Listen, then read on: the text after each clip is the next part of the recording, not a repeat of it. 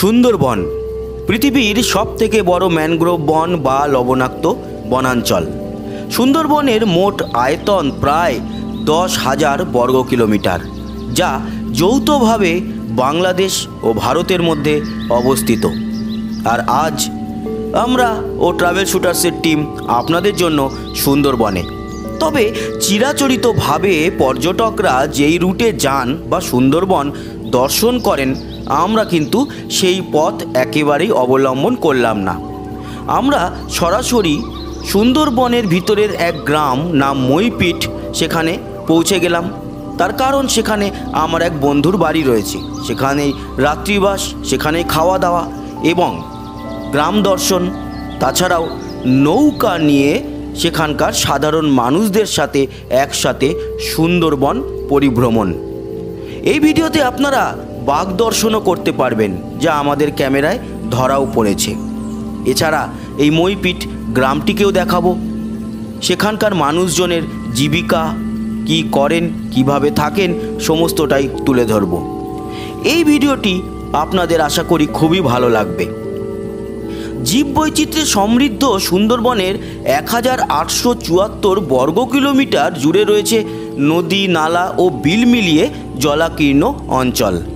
Royal Bengal tiger সহ বিচিত্র নানান ধরনের পাখি, চিত্রা, হরিণ, কুমির ও সাপসহ অসংখ্য প্রজাতির প্রাণীর আবাসস্থল হিসাবে সুন্দরবন পরিচিত। এখানে রয়েছে প্রায় তিনশো পঞ্চাশ প্রজাতির উদ্ভিদ, একশো কুড়ি প্রজাতির মাছ, দুশো সত্তর প্রজাতির পাখি, বিয়াল্লিশ প্রজাতির স্তন্যপায়ী, পঁয়ত্রিশ প্রজাতির সরীসৃপ এবং আট রকম উভচর প্রাণী। আসলে সুন্দরী বৃক্ষের নাম অনুসারে এই বনের নাম সুন্দরবন রাখা হয়। সুন্দরবনের ভেতরে যেতে হলে এই নৌপথই একমাত্র উপায়।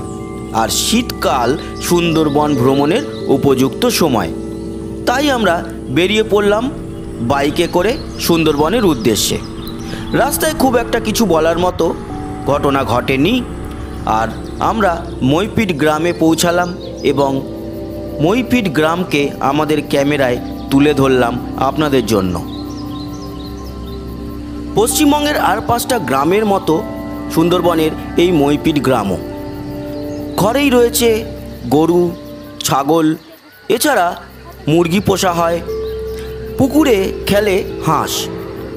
চাষবাসও আরেকটি জীবিকা অবলম্বনের পথ। তবে মূলত এখানকার মানুষজন কাঁকড়া, মধু এই সমস্ত ধরতে যান সুন্দরবনের ভিতরে। গ্রামটি আমরা ঘুরলাম, কোনো বাড়িতে ঝুলে রয়েছে লাউ, এছাড়া ছোট্ট সাজানো গ্রাম বলা যেতে পারে। অতটা কোলাহল নেই এই গ্রামে, কলকাতা থেকে মাত্র একশো কুড়ি কিলোমিটার দূরেই অবস্থিত।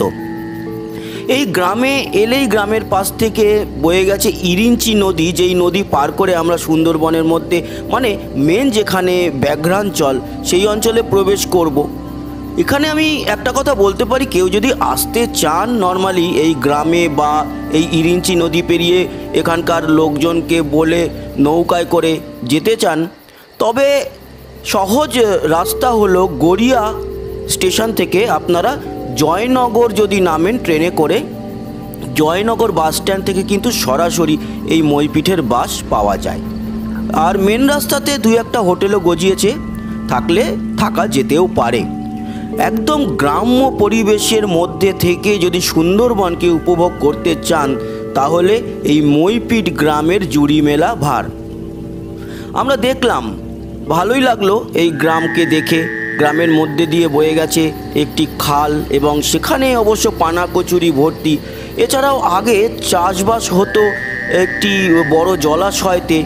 সেখানকার অবস্থাও একটু অন্যরকম, তার কারণ আইলা নামে একটি ঘূর্ণিঝড় যখন এই মইপিট গ্রামের উপর আছড়ে পড়েছিল, সেই সময় কিন্তু নোনা জল ঢুকে যায় এবং মাছ চাষ এখন প্রায় বন্ধ বলা যেতে পারে এইখানে। এমনি সাধারণ মানুষজন মাছ ধরতেই যান নদীতে। তিন নদীর মুখ রয়েছে এখানে, মাতলা খুব কাছেই, আর তাছাড়া রয়েছে তো সুন্দরবন। মইপিট গ্রাম দেখা হলো এবং মইপিট গ্রাম থেকে আমরা এখন চললাম ইরিঞ্চি নদীর ধারে, সেখান থেকে আমরা নৌকা করে বেরোবো সুন্দরবনের একদম গহীন অরণ্যের ভিতর। আর দেখা যাক কপালে আমাদের বাঘ দেখা যায় কি না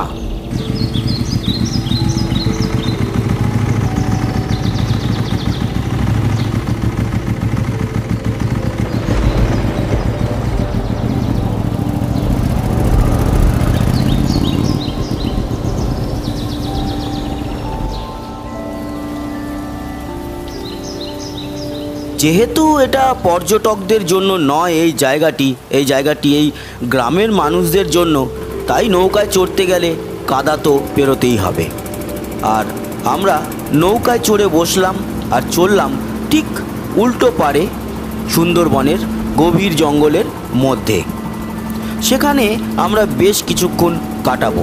তবে সেখানে পৌঁছালাম, পৌঁছে গিয়ে দেখলাম যে সুন্দরবনের যেই অঞ্চলটিতে আমরা প্রবেশ করেছি সেটি কিন্তু হলুদ জাল দিয়ে ঘেরা। আচ্ছা কেন এই জালগুলো দেওয়া হয়েছে? আমরা একটু জেনে নিই। এটা বাঘ খেয়ে আসে মানে জঙ্গল থেকে ওপারে খেয়ে যায় তার জন্য আর বাঘ এখন গণনা হবে। গণনার জন্য ওই জালটা। দু হাজার একুশেই কিন্তু আবার শুরু হতে চলেছে বাঘ গণনা, তাই ফরেস্ট ডিপার্টমেন্ট ভালোভাবে ঘিরে দিচ্ছে আরও সুন্দরভাবে সুন্দরবনকে।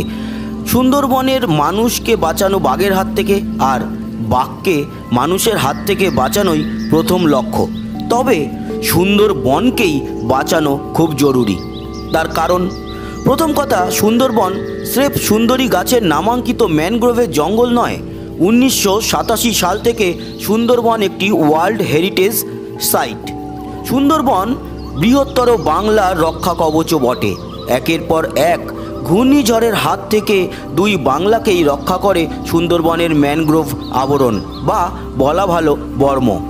তাছাড়া রয়েছে জোয়ারের জলোচ্ছ্বাস এবং লবণাক্ত জলের ধারা, যা ম্যানগ্রোভের জঙ্গল না থাকলে ঢুকে পড়তো আমাদের নদী খাল বিলে। এছাড়াও সুন্দরবনের হাজার হাজার খাঁড়িতে নানা প্রজাতির মাছ ধরে জীবিকা নির্বাহ করেন অসংখ্য মৎস্যজীবী। ভারতীয় সুন্দরবনের জনসংখ্যা কিন্তু প্রায় পঞ্চাশ লক্ষ, যাদের বাস এই অঞ্চলের ছোট, বড়, নানান দ্বীপে।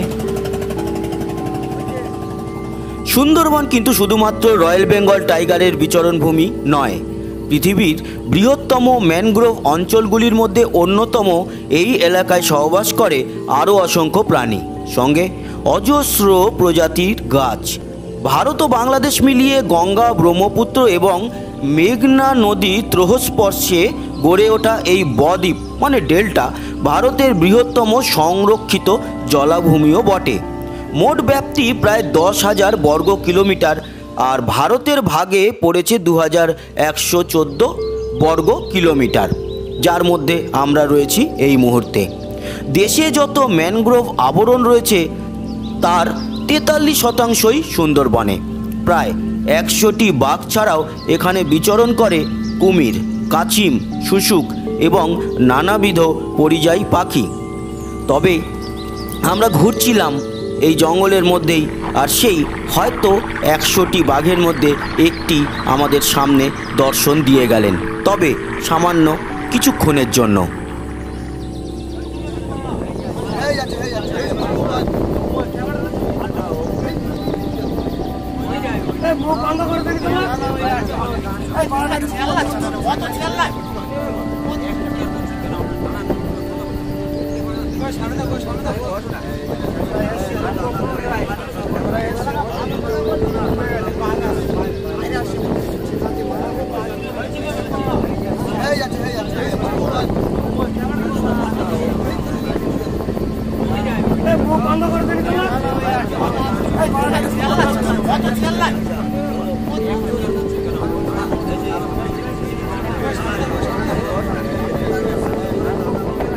সারাদিন ঘুরলাম আমরা, সুন্দরবনে দর্শন পেলাম, বাঘের। বেশ ভালো লাগল। এই সুন্দরবনকে কিন্তু অবশ্যই বাঁচিয়ে রাখতে হবে। সুন্দরবন না বাঁচলে যে বৃহত্তর পশ্চিমবঙ্গ বা বাংলাদেশও বাঁচবে না, সে সম্পর্কে বিশেষ সন্দেহের অবকাশ নেই। ম্যানগ্রোভ বেঁচে থাকলে তা শক্তিশালী দেওয়াল হয়ে আটকে রাখতে পারবে ঘূর্ণিঝড়কেও। ঘন জঙ্গলে আবদ্ধ হয়ে কমে যাবে হাওয়ার তীব্রতা। হ্যাঁ সেই ধাক্কা সামলাতে গিয়ে জখম হবে অনেক গাছ, কিন্তু তাদের জায়গা নেবে নতুন গাছও। পরিবর্তনশীল এই অঞ্চলের ভূমি গঠন এটা নিশ্চিত করে যে পরিবেশকে সুরক্ষিত রেখে এবং প্রাকৃতিক বিপর্যয় ধাক্কা কাটিয়ে ফের গজিয়ে উঠবে ম্যানগ্রোভ। বন্ধুরা, আমরা আজ সারাদিন মইপিট গ্রাম এবং সুন্দরবনের এক অন্য দিক ঘুরে দেখলাম। আশা করি এই ভিডিওটা আপনাদের ভালো লাগল। যদি ভিডিওটা ভালো লেগে থাকে, অবশ্যই সাবস্ক্রাইব করে আমাদের সঙ্গে থাকুন। লাইক আর শেয়ার অবশ্যই করবেন, আর কমেন্ট বক্সে লিখবেন আপনার গুরুত্বপূর্ণ মতামত। আসি, এবার আবার ফিরে যাওয়ার পালা। সবাই ভালো থাকবেন, সুস্থ থাকবেন, আবার দেখা হবে। টাটা।